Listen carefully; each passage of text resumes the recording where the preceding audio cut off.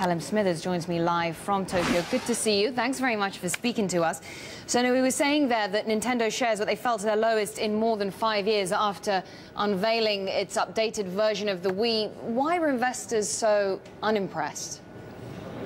Uh, because I think, oddly enough, they predicted it. Uh, this was a uh, well-kept secret, but uh, everybody was looking at what was available in the market, and everybody, I think, agreed that there was a gap in the market for a iPad-type controller operating on a TV screen situation. And having predicted it, what did everybody do? They said, well, if I can do that, uh, we were expecting more from Nintendo.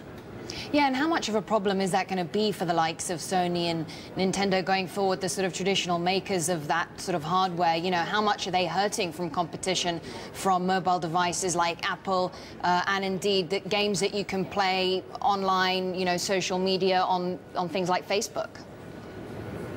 Uh, well, we're seeing at this stage incremental uh, negative impact.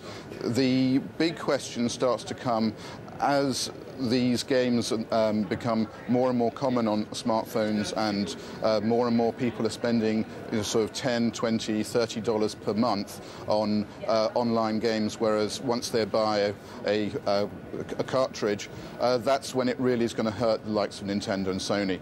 At this point, they're still sort of fighting amongst each other, but uh, until um, this last Christmas, it wasn't too bad. Since last Christmas, things have deteriorated quite a bit, and we can put this down to this online gaming phenomena. Yeah, so then what are, the, what are Sony and Nintendo doing to address this problem? As you say, it's, we're already seeing a deterioration. Uh, what are they doing to defend their position in the market? Well, both have come out with quite um, high quality uh, sort of machines. The Sony uh, PS Vita, the replacement to the, the, PSP, is a very nice piece of equipment in terms of its looks. It's got an AMOLED screen, it's very light, it's got a wonderful touch. Um, meanwhile, the, uh, the Wii U is you know, as I said, it, it's uh, iPad meets uh, uh, meets Wii. It's quite nice, but is quite nice good enough? And so they've rather laid their bets on this. They're going to have to hope that games makers decide, well, we like the margins and the sales that we used to get from these living room console games. So we're still going to write good games for these, but at the same time, obviously, we're going to hedge our bets by trying to get into the online market. Now, Nintendo and Sony basically have got a hope that there is enough product for their, pro for their systems that it's going to pay off for these machines. And just a quick one, you know, very difficult to talk about these companies without mentioning the recent hacking attacks uh, and uh, how damaging this has been.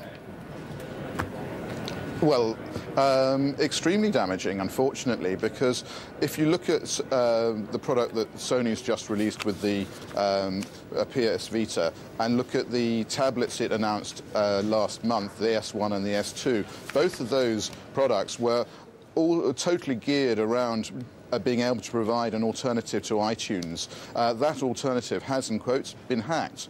Uh, now the hackers are going after Nintendo at the time when Nintendo is also trying to offer itself up with a sort of online uh, multiplayer download service. Uh, no, it could not have come at a worse time.